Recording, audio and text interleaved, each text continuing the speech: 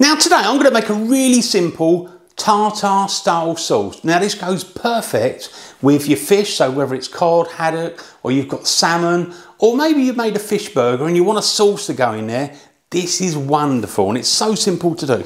So just to go through the ingredients, now I've got 100 millilitres of mayonnaise, one teaspoon of capers, now drain those, chop them up nice and fine, one teaspoon of horseradish sauce, one teaspoon of Dijon mustard, and then one teaspoon of fresh parsley, which you need to chop up fine.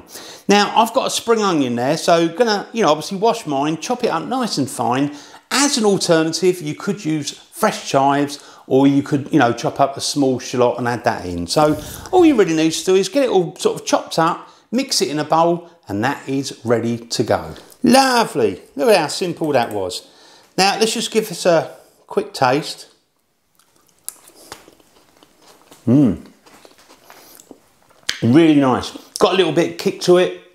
That will go so well with the fish you're serving up or your fish cakes or whatever you're going to have yours with. Absolutely delicious. Anyway, nice quick video today for this tartar style sauce. I hope you enjoy the sauce and enjoy the video. And don't forget to check out all my other videos as well because I've got plenty on YouTube.